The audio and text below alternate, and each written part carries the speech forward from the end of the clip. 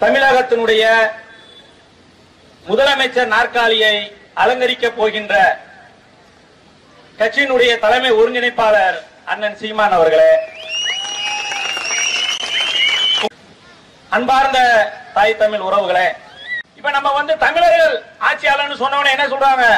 இந்த பேட்டி எடுக்கிற பத்திரிகையாளர்கள்லாம் அப்ப ஓபிஎஸ் தமிழர் இல்லையா? இபிஎஸ் தமிழர் இல்லையா?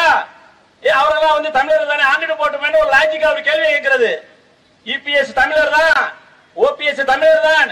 எங்க ஐயா பெருந்தலைவர் காமராஜர் அவர் கூட தமிழர் தான். ஆனால் அவர்கள் ஏற்றிருக்கக்கூடிய சித்தாந்தம் என்ன என்பதை பார்க்க வேண்டும். திராவிட சித்தாந்தத்தில் இருக்கக்கூடிய ஒரு நபர் தமிழர்களுடைய நலனை பேணி காக்க முடியாது. அதுக்கு சாட்சி இந்த முல்லை பெரியார் அணை.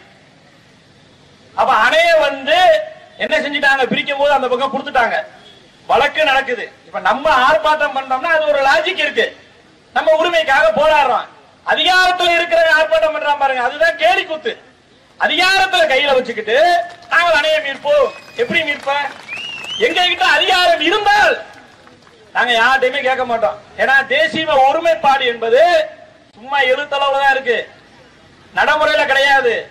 தேசிய ஒருமைப்பாடு என்ன செய்யணும்? அந்த அணையில இருக்கிற நீரை நாற்பத்தாறு அடி நூத்தி நாற்பது அடி ஏத்தணும். அப்பதான் நம்மளுக்கு தேவையான தண்ணீர் கிடைக்கணும் ஒருமைப்பாடு இல்ல. அப்ப இவங்க என்ன செய்யறாங்க அப்படின்னா இந்த டேம் ஹண்ட்ரட் ஒரு ஒரு அயோக்கிய பையன் என்ன செய்யறான் ஒரு மூணு நாலு வருஷத்துக்கு முன்னாடி ஒரு ஆவணப்படம் எடுக்கிறான். அந்த டேம் உடைஞ்சு மக்கள் பூரா பாதிக்கப்படுற மாதிரி. இந்த டேம் இல்லடா.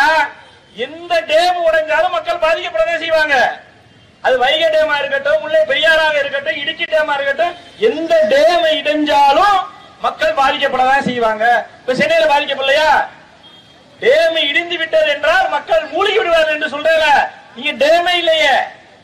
டேம் உடையலையே மழை தண்ணி பேரிடர் காலத்துல கூட மக்களை பாதுகாக்க முடியல. வீராண ஏரிய திறந்து விடுறேன். காலையில ஐநூறு பேர் காணாம போயிட்டாங்க. இப்ப இதுதான் நடக்குது. இது சொல்றதே தவறு. அப்ப இவங்க என்ன செய்யறாங்கன்னா அதை தாண்டி ஒரு அரசியல் பண்றாங்க. ஒரு பதினஞ்சு இருபது நாளைக்கு முன்னாடி கூட கேரளாவில் இருந்து தமிழகத்திற்கு வந்து சினிமாவில் நடிக்கக்கூடிய அவங்க கூட என்ன செய்வாங்க? அணையை பத்தி பேசுறாங்க. இந்த அணை வந்து கேரளாவுக்கு சொந்தமானது. இது அணை வந்து வீக்கா இருக்கு.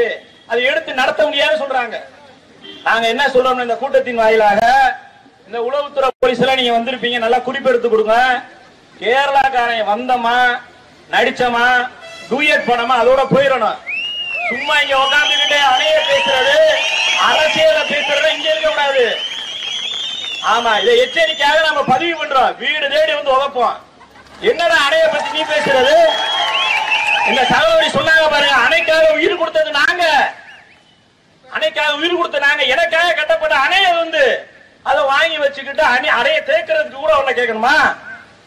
இது முற்றிலும் தவறான நிலைப்பாடு. இங்க இருக்கிற யாரும் அரசியல் பண்ண கூடாது.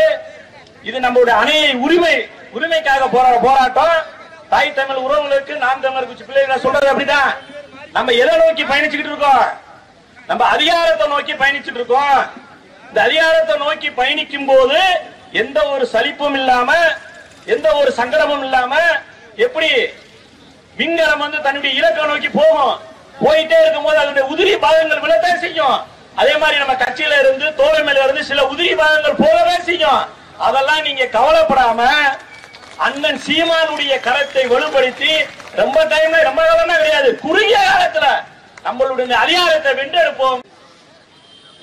பொறியாளர் பென்னி குக் அவர்கள் பருவ காலத்திலே பெய்யக்கூடிய மழை வீணாக அரபிக்கடலிலே போய் கலைக்கிறது. அந்த நேரத்திலே ஒருங்கிணைக்கப்பட்ட மதுரை மாவட்டத்திலே கிட்டத்தட்ட ஐந்து ஆறு மாவட்டங்கள் தண்ணி இல்லாமல் விவசாயம் இல்லாமல் வாடி வதங்கி போய் அந்த மக்கள் வாழ்ந்து கொண்டிருக்கிறார்கள்.